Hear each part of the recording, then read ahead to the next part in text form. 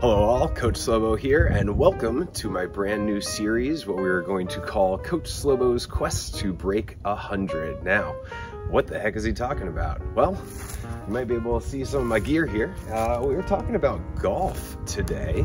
Uh, this is my latest hobby, and I wanted to create a brand new series here on my channel uh, to essentially help others like me who are very much novices at the sport uh, start to figure out all the little nuances that come with educating ourselves to basically not embarrass ourselves on the course, right? So, um, to give you a little bit of history, um, I grew up with grandparents who were very passionate about the game. It was always on the TVs uh, when we would visit for holidays. You know, the PGA Tour would certainly be more than visible and didn't even really, you know, play anything more than mini golf until I was in high school.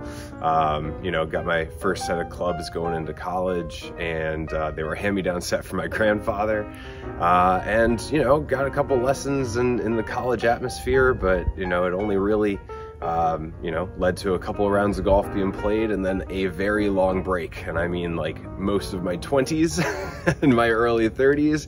And now uh, as I approach my mid 30s, uh, I'm getting back into it. A friend of mine invited me to play earlier this year and it was my first time on the course for a long time. And honestly, it, it went better than expected.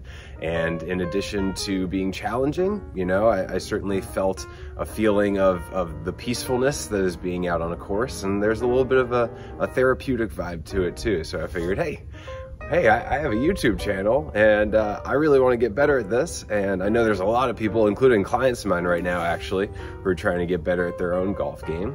I've been watching a ton of YouTube channels like uh, Rick Shields Golf, Good Good Golf.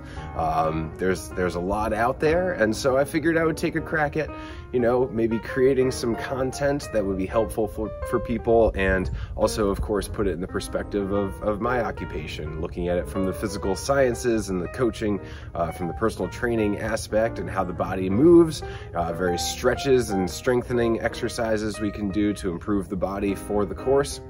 And then, of course, you know, one of the beautiful things about this sport is the longevity. Being able to play later in life and still be reasonably comfortable to get out on the course and, and enjoy yourself. So that's the plan of action. Uh, as you can see, I got my clubs ready to rock. I got my my pitching uh, area here in the backyard ready to go. And as you can see way off in the distance, I got myself uh, a big old tarp hung up. Uh, that's what we'll be, we will be doing some driving demonstrations, some long irons.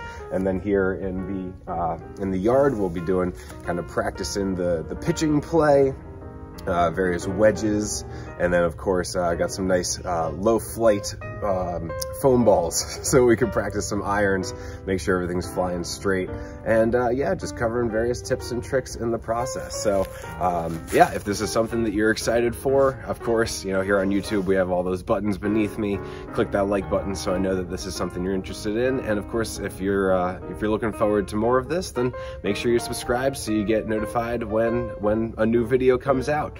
Uh, but again, I'm Coach Slobo, excited to bring you some new content and uh, yeah, looking forward to, to seeing what we need to do in order to break that elusive 100 score on the golf course in the, uh, in the coming year. So fingers crossed, let's get to work.